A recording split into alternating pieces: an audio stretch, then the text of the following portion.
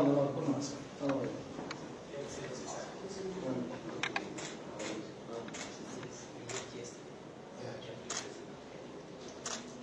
Nice to meet you again. Thank you, sir. Now, Thank you, sir. so Thank you. it's a Yes. relaxed chat. Yeah.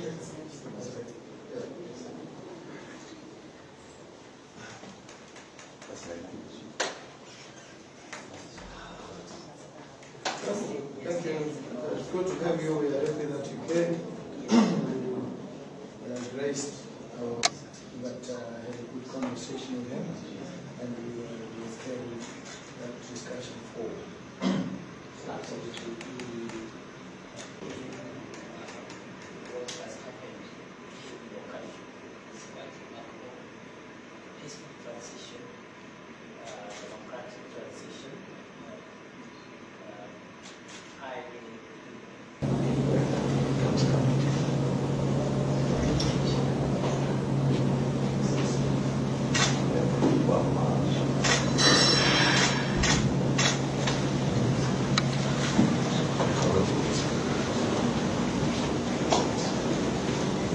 I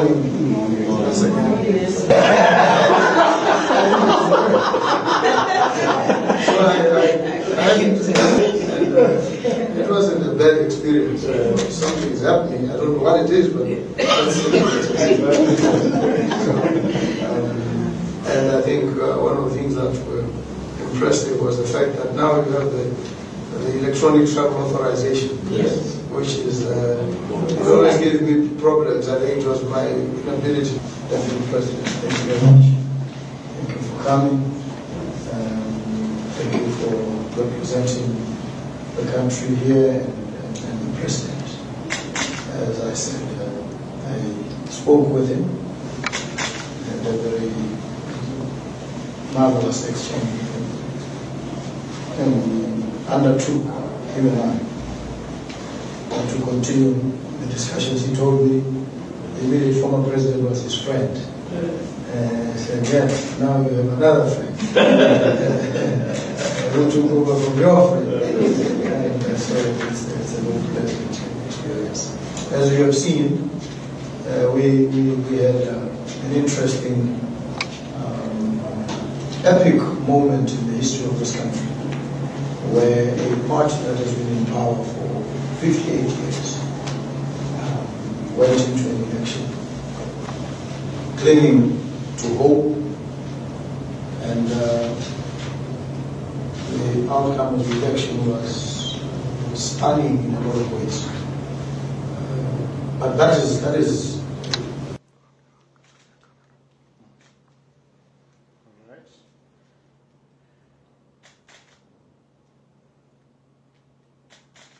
Can do one as you shake hands. Thank you,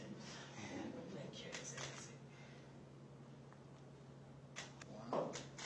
One more. Thank you, sir. Thank you very much. Travel safely. Thank you, sir. Thank you, sir. Yeah. I, after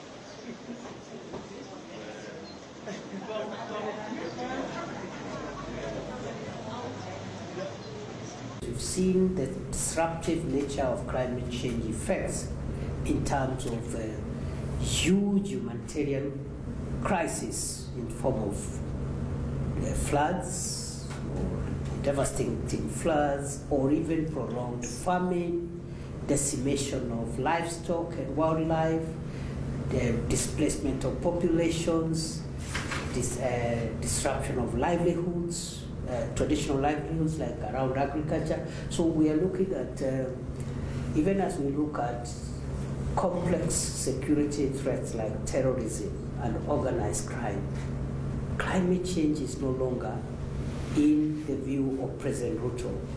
It's no longer uh, food security, agriculture, uh, humanitarian matter. It is a, it's a national security, international security problem which can pose even existential threats. Uh, we could just have our countries uh, completely disrupted by climate change. So that's an area that I thought, uh, because of the interest and the responsibility that uh, uh, your counterparts have placed on President Ruto, um, it's an area where, again, you could consider working together. Uh, I believe Botswana has just had a problem just like Kenya on, on that area of climate change, Your Excellency.